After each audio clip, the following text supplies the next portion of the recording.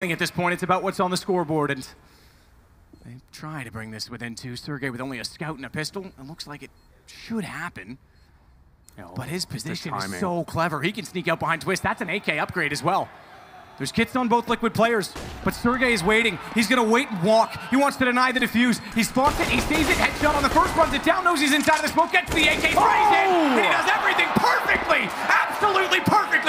14. That is one world-class play.